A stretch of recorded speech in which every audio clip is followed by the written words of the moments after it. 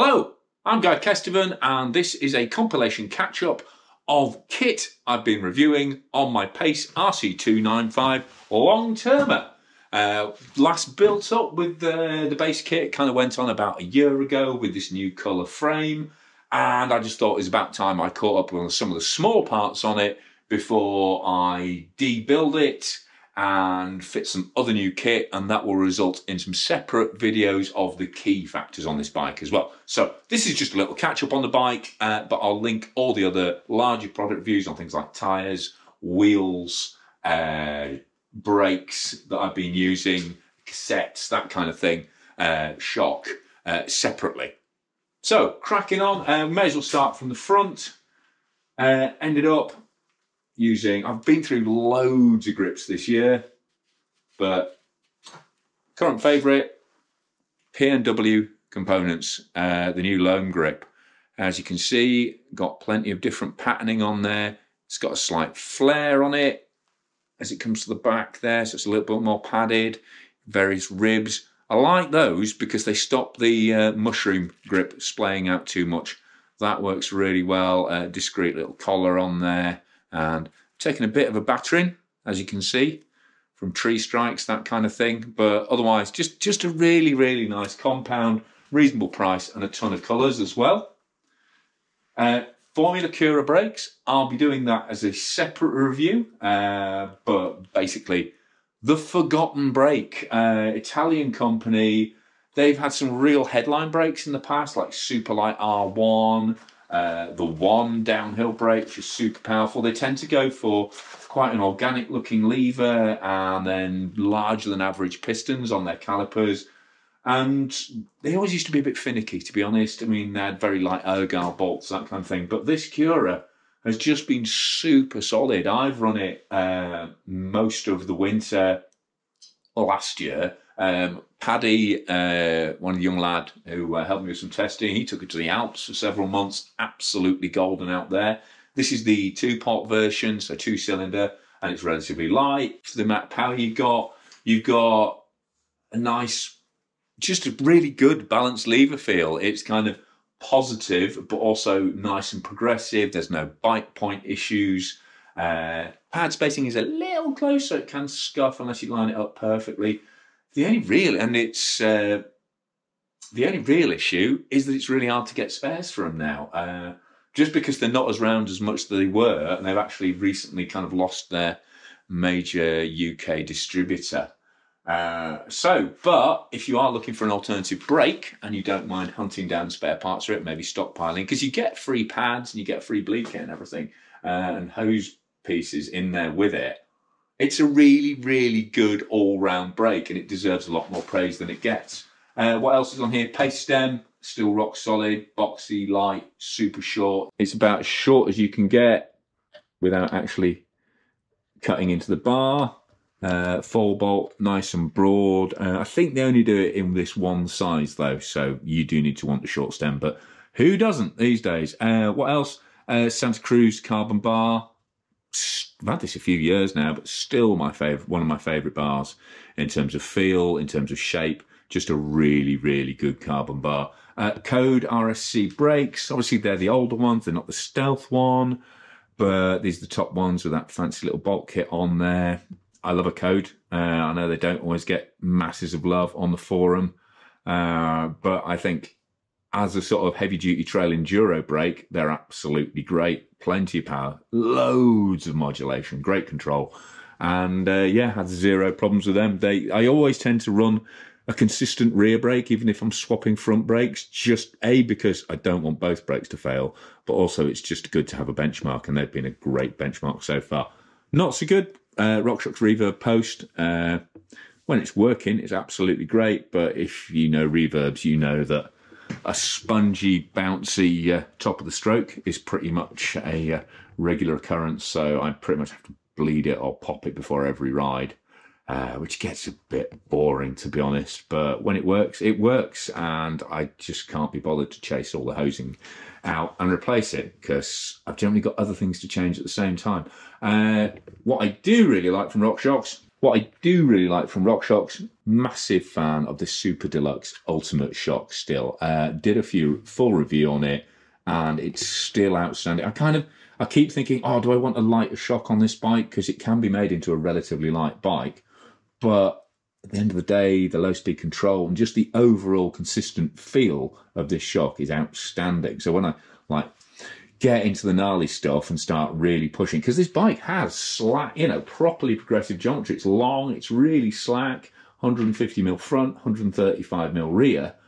And uh, that shock just really, really adds depth and uh, great damping control, and also being a really great pedaling setup as well, because you can you know, it, the pace pedals well anyway, but you can just easily reach down and start moving that low speed compression about. The only thing I have noticed when I've uh, when the bike's been sat and I've not used it a lot, both the adjuster rings tend to stiffen up quite a lot. So even if it's in kind of storage, make sure you keep moving them regularly just to keep them freed up.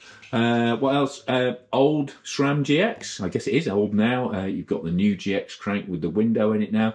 These have been totally trouble free. And to be honest, the dub bottom brackets lasted really well on this bike as well. Uh, cassette. Lighter than XT, the XTR and SRAM, from what I remember, and cheaper as well. Not by much in either respect, but a good alternative CNC component coming out of Poland and f- pretty much everything I ride now is electronic GX AXS. All the test bikes coming through seem to be GX AXS. So it's really, really nice to remember just how good an X01 rear mech can feel with good old cables and analog shifting. It really does feel great and again, just nice to have something that's completely trouble free. I don't have to worry about whether the battery's run out or whether I've forgotten the battery because I've been recharging it or anything like that. Just super solid uh, performance on the shifting and very crisp and very fast. Uh, probably the fastest shifting you can get. I mean, the Garbaruk's not quite as quick as an official SRAM uh, cassette. It's not quite as clean shifting either. But in terms of thumb to rear mech movement, and having that front flipper as well, which I you know really miss off the new AXS. Uh, very very hard to beat uh, SRAM analog. Now, what haven't I talked about? Tires, uh, I'll bring up separately, and wheels as well. It's I've run a bunch of different tires and wheels uh, over the year, so I'll bring those out separately. Uh, particularly the Maxxis Severe that's been on the rear, and then the Forekaster that's on the front. But I've just switched, as you can see, to Schwalbe Rocket Ron front and rear on reserve uh, 28s. Uh, why haven't I got a saddle on? No, it's not some weird Christmassy kink. Uh, I've just run, again, a bunch of different prototype saddles on this bike all year, and I'll pull some of the production ones I've run on it as well out and do a separate test on them. But for now, uh, it's just an empty seat post uh, before another prototype saddle goes on there, which I can't quite show you yet. Uh, what else? Anything else on there? Uh, yeah, Shimano pedals. Not even sure why they're on there because, as you know, I normally run Hope now and Fidlock bottle cage. Totally over any fear of losing Fidlock bottles now. Uh, go for them every time just because I really like the uh, clean mounting on there. It's really useful if I'm videoing with the little Instago 360, which is another review I need to do.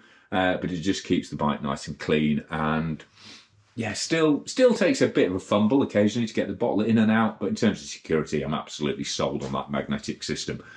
Plus, it means I get to plug me yeah, PT's uh, sponsorship. Let, let's be honest on there. Uh, enduro bearings, I've not done a full refit bearings on these because they're actually fine at the moment. I really should.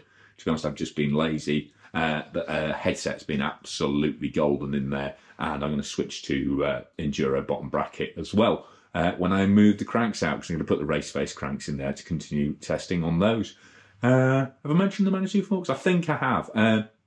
Uh, very, very impressed so far. Really, really widely adjustable. Very, very plush.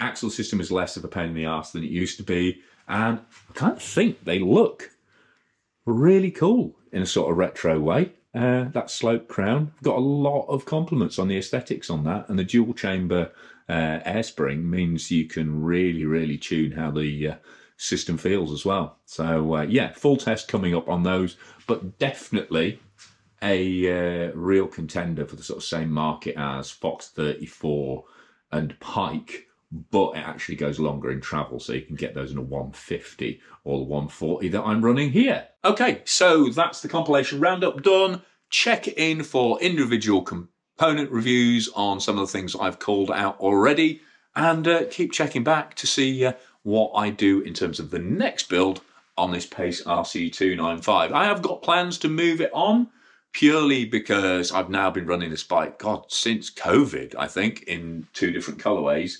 And it's still a really great, really current bike. And Pace deserve a lot of support as one of the original mountain bike brands, certainly over here in England. Uh, so I always like to give the uh, smaller guys a bit of a leg up in terms of profile if I can. But you may be something seeing something different but similar for that kind of fast 29er uh, trail bike category in terms of testing because it's kind of my sweet spot in terms of a lot of riding I do. But for now, I've been Guy Kesteven on Guy Kes TV, probably randomly, randomly ran. I've been Guy Kesteven on Guy Kes TV, so make sure you sub.